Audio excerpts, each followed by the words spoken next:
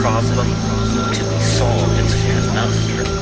It's not what it appears to be. There are doors. There are locks and keys. There are levels. And if you get it right, somehow